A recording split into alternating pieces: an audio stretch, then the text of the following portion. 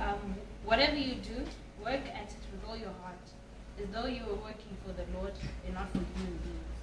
So whatever you're going to be doing today, when you sing, when you pray, just not do it for the sake of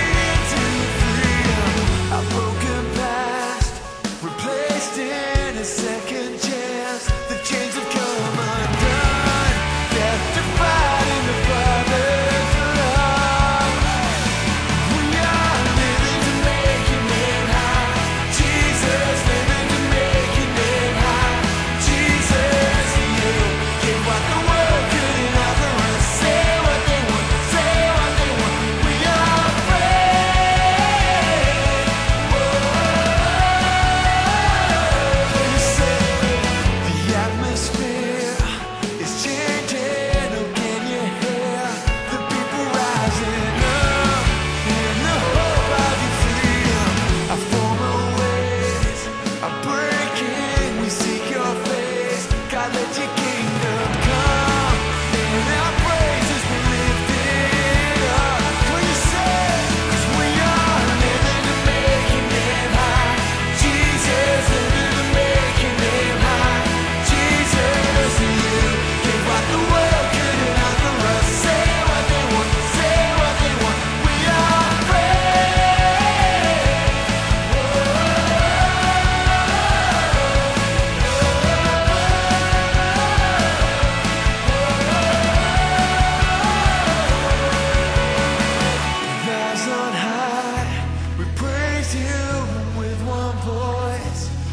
come together on one desire to praise you.